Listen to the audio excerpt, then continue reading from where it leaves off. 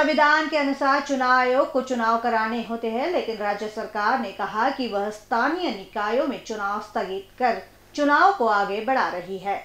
यह कहकर राज्य में ओबीसी को गुमराह किया गया है। मुख्यमंत्री उद्धव ठाकरे द्वारा फिजूल की बैठकों का सिलसिला चला और समय बर्बाद किया गया। अब सुप्रीम कोर्ट ने ठाकरे सरकार को फटकार लगाकर चुनाव स्थगित करने के फैसले को स्थगिति दी। ऐसे में अब सवाल यह है कि ओबीसी लोगों को न्याय मिलेगा या नहीं। लेकिन अब भी तीन महीने में एम्पेरिकल डेटा जुटाकर ओबीसी को आरक्षण दिया जाए, नहीं तो राज्य में ओबीसी समुदाय सरकार के मंत्रियों को सड़कों पर घूमने नहीं देगी और बीजेपी इस सरकार के खिलाफ आंदोलन करेगी। यह चेतावनी भाजपा के प्रदेश महासचिव चंद्रशेखर बावनकुले द्वारा दी गई है।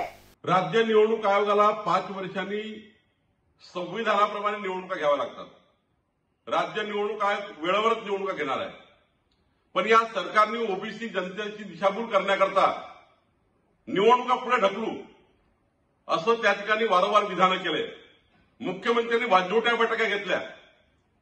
आणि आता तर ओबीसी समाजाला न्याय मिळेल की नाही हा प्रश्न उभा झाला आहे अजूनही तीन महिन्यामध्ये सुप्रीम कोर्टाच्या निकालाप्रमाणे इम्पेरिकल डेटा तयार करून ओबीसीना आरक्षण मिळू शकतं पण हे सरकार देण्याच्या परिस्थितीत नाही. या सरकारने पहिल्यापासून ठरवलं आहे ओबीसीना आरक्षण द्यायचं नाही.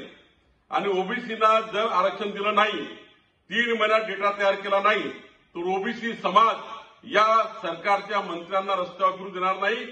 आणि या सरकारच्या विरुद्ध भारतीय जनता पार्टी सुद्धा तीव्र आंदोलन करेल.